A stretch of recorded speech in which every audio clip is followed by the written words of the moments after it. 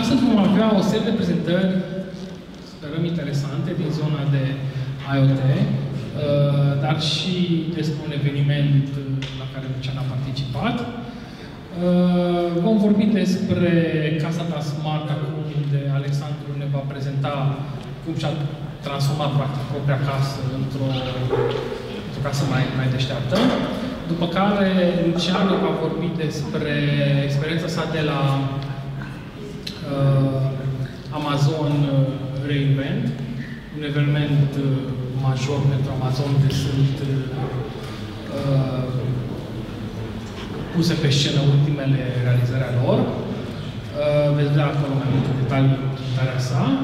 După care o să vă prezint un mic proiect IoT pe care tot insist. Este vorba de o mașinuță electrică care la trecută o mișcat cu telecomandă. Acum am început să o mișc cu o recunoaștere a fețelor. N-am adus-o, din păcate, pentru demo astăzi, dar promis să o aduc data viitoare. Și de asemenea o să vă arăt iar un alt proiect micuț care l-am făcut înainte de vacanță ca să monitorizez un acvariu cu pești. Sper să vă ideea. Uh, deci, după aia, înainte de pauză, vom avea o prezentare din partea lui Peter Listen. Uh, poate trebuia să vorbesc în engleză.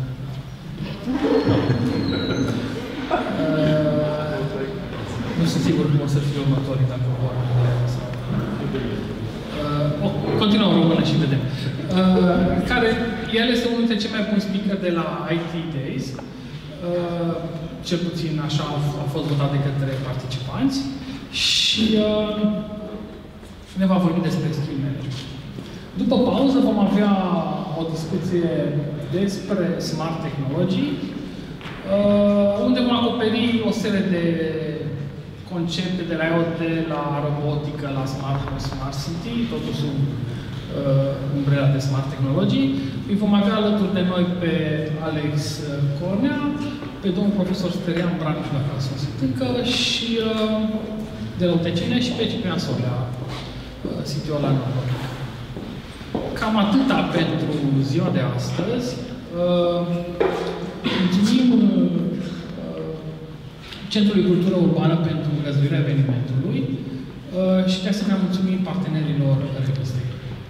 Uh, și acum am sta.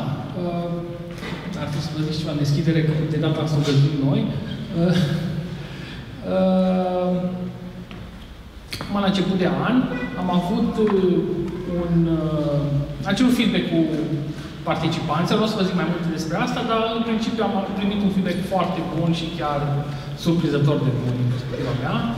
O să puteți citi mai multe detalii în prima articol Bun, mulțumesc!